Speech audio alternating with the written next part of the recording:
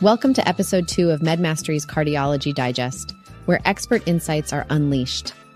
Join us weekly as we bring you the latest scientific findings in the field of cardiology. Stay up to date with our bite sized summaries of the late breaking trials. So hit the subscribe button and never miss an important update in your field ever again.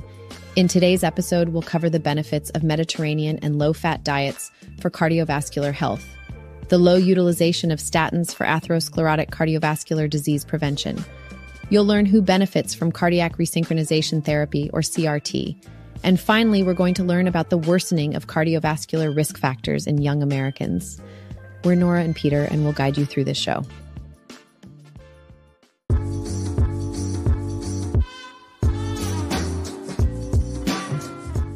But before we get started, definitely make sure to check out our award winning clinical skills courses on topics like ECG, chest x ray, echocardiography, point of care ultrasound, vascular ultrasound, cardiac CT, mechanical ventilation, and so much more.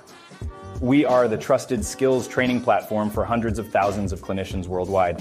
All our courses are CME accredited and we are highly commended by the British Medical Association. So definitely come and visit us at www.medmastery.com. But now, on with the show.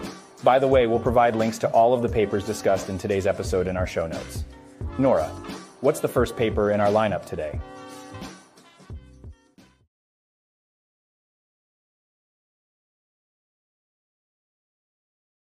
Well, Peter, our first study was published in the BMJ in March 2023.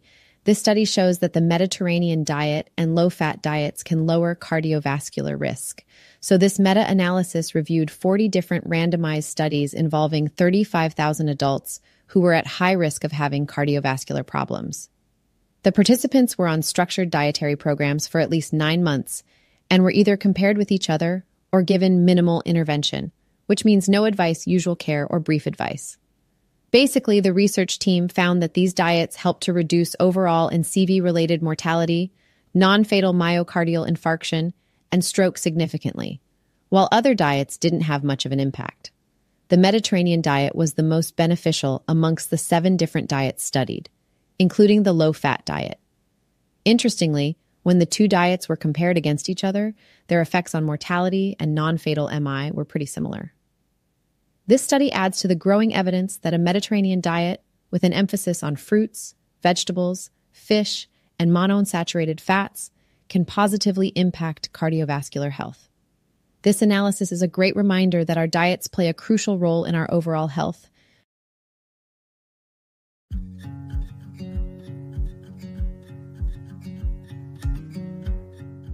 Thanks, Nora. So, this study backs up the idea that the Mediterranean diet is awesome for your heart, shows that a simple low fat diet might be just as good, and hints that both diets could help folks with higher risks live longer.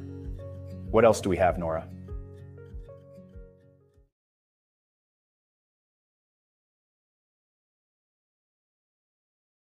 The next study sheds light on the low utilization of statins for primary prevention of atherosclerotic cardiovascular disease, or ASCVD. The paper was published in JAMA Cardiology in March 2023. Researchers found that statin use for primary prevention of ASCVD remains low across all races and ethnicities. The study results further showed significant disparities in ASCVD rates between the black and white populations. To examine trends in statin use for primary prevention, researchers analyzed nationally representative U.S. survey data from participants aged 40 to 75 years old without ASCVD, diabetes, or elevated LDL cholesterol levels. The mean age of participants was 62 years, and self identified race or ethnicity was white at 73%, black at 13%, Hispanic 10%, or Asian 4%. Overall, white participants had the highest prevalence of statin use at 28%, similar to the rate in Asian participants at 26%, and significantly higher than the rates in Black at 20% and Hispanic participants at 15%. Within each race and ethnicity group, there was a graded increase in statin use with increasing ASCVD risk.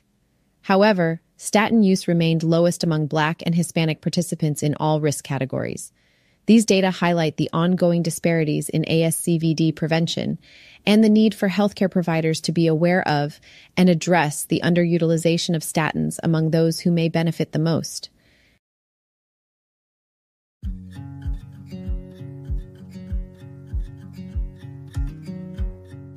So, not enough people, especially black and Hispanic adults, are using statins to prevent cardiovascular disease. This is troubling because these groups are at higher risk for developing heart problems. The good news is that statins are affordable, safe, and effective.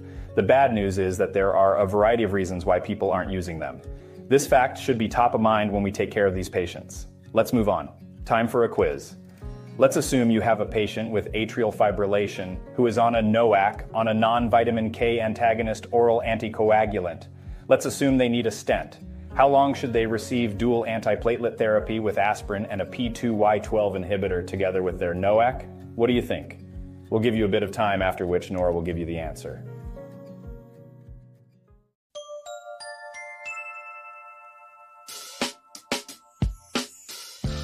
Well, here's the answer.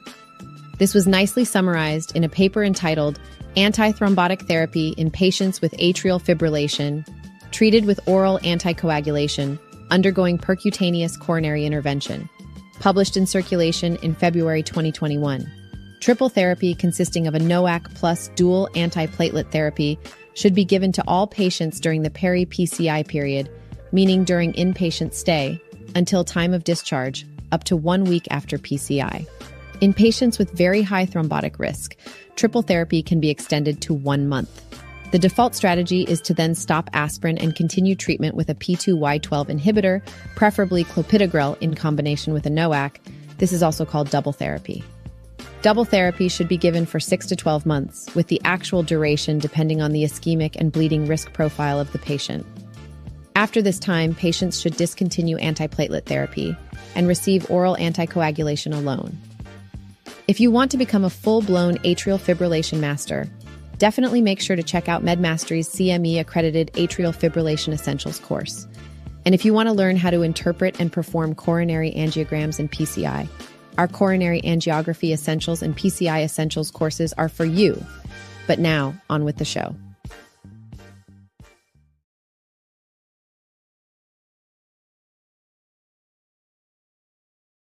Our next study is a recent meta analysis published in March 2023 in Circulation titled Clarification on Which Patients Benefit from Cardiac Resynchronization.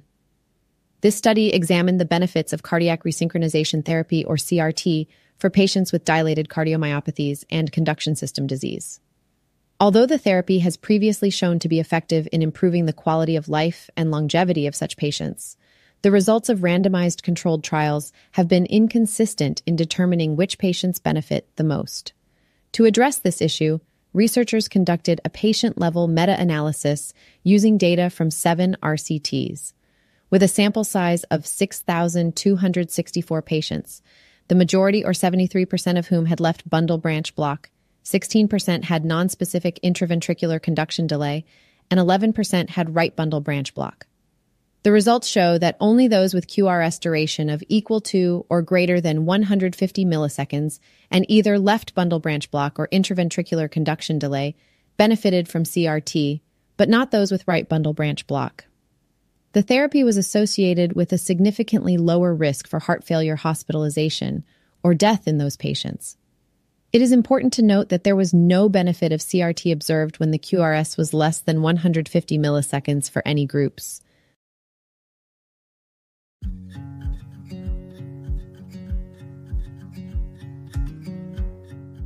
You know how there's been some confusion around who exactly benefits from CRT? Well, this meta analysis has finally shed some light on the matter. Basically, it can help us figure out which patients are going to benefit from CRT and which ones won't. Super helpful info for when the guidelines get updated. But here's the kicker even before that happens, we need to change our practices. Specifically, we should only implant CRTs in patients with left bundle branch block or intraventricular conduction delays and only if the QRS duration is equal to or greater than 150 milliseconds. What's next, Nora?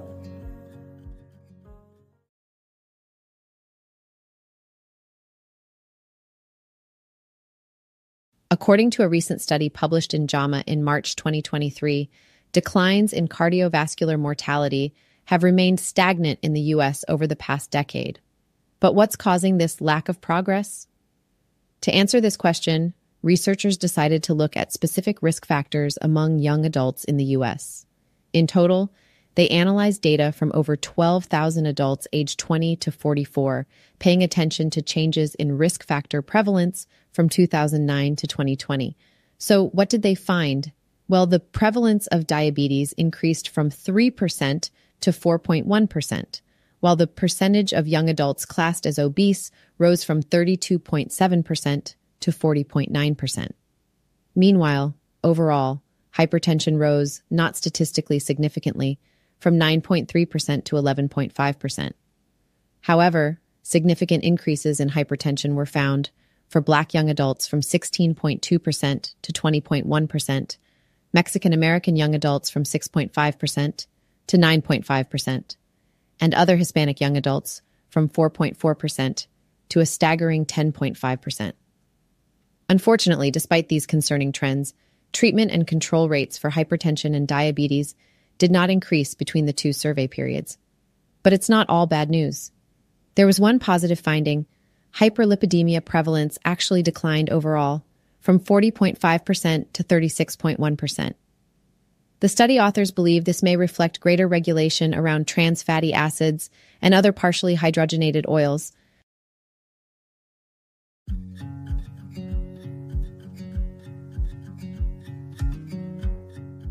Have you heard about the recent decline in life expectancy in the US, Nora?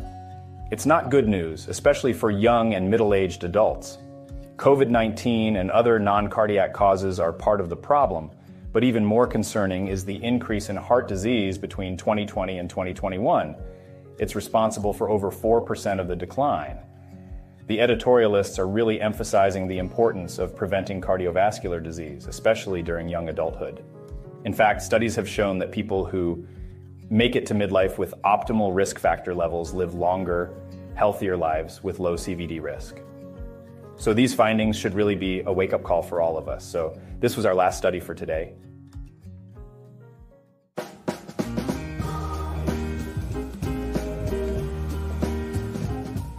Thanks for tuning in to today's episode of MedMastery's Cardiology Digest, where expert insights are unleashed.